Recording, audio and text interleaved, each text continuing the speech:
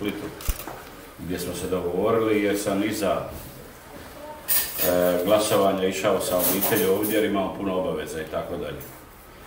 Znači, zahvaljujem se svim ljudima koji su jučer izišli na glasovanje po onoj žegi i glasovali, nema veze za koga. Mislim, ima veze, ali jasno je da je ovaj, e, ljudi koji su izišli glasovali su i izabrali su pobjednika.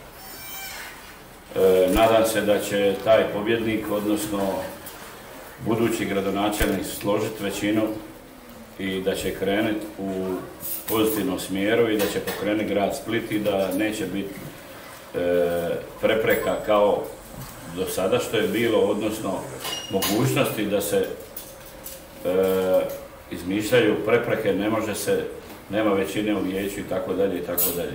E, rekao bi da je tu najviše ispao naivan e, Vice Mihanović koji je ovako dao ostavku svojih gradskih vijećnika i na kraju polučio e, jako loš rezultat. Znači, s obzirom na izlaznost i s obzirom da HDZ ima najveći broj glasača u Splitu, mislim da je Vice Mihanović veliki gubitnik, a osvrnuo bi se još na SDP, oni su isto veliki gubitnici, jer zapravo praktički centar je preuzeo kompletnu ljevicu i sad ima većinu.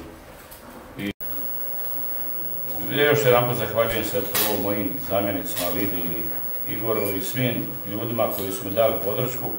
Jasno je da mi nismo imali jedan džambo plakat. Znači ja sam sinoć napisao da nismo čak ni bili spremni u tu utrku jer je bila izvaredna.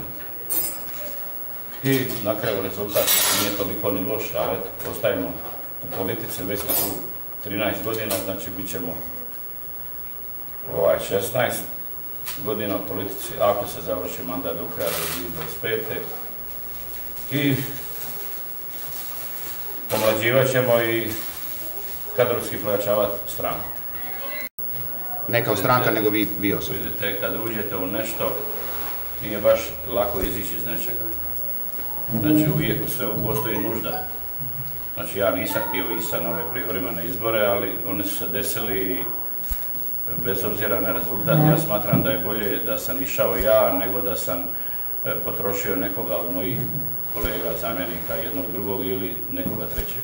Ja smatram da je bolje da sam išao ja, jer ja sam već sa iskustvom, sa mislim, imam iskustva svakakvog životnog i tako dalje. I mislim da je bolje da sam išao ja, da se, da se nisu oni potrošili. A upitno je hoće li dio glasača, ovaj, jer sad se bira gradonačelnik, ne bira se vijeće izabrano. Znači ovaj je postigao rezultat.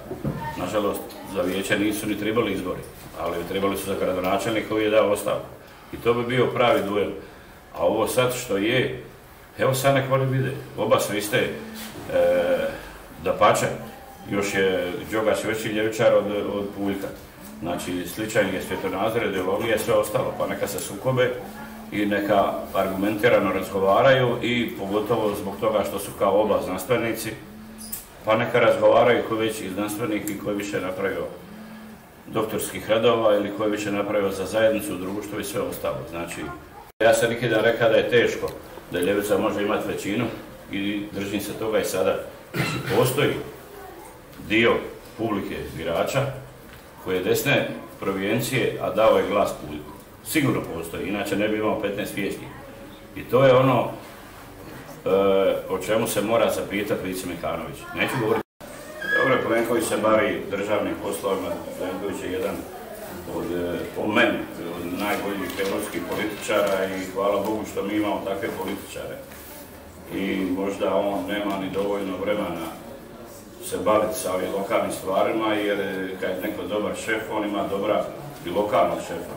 Nažalost, ovdje nije bio slučaj da on ima dobra lokalnog šefa i zato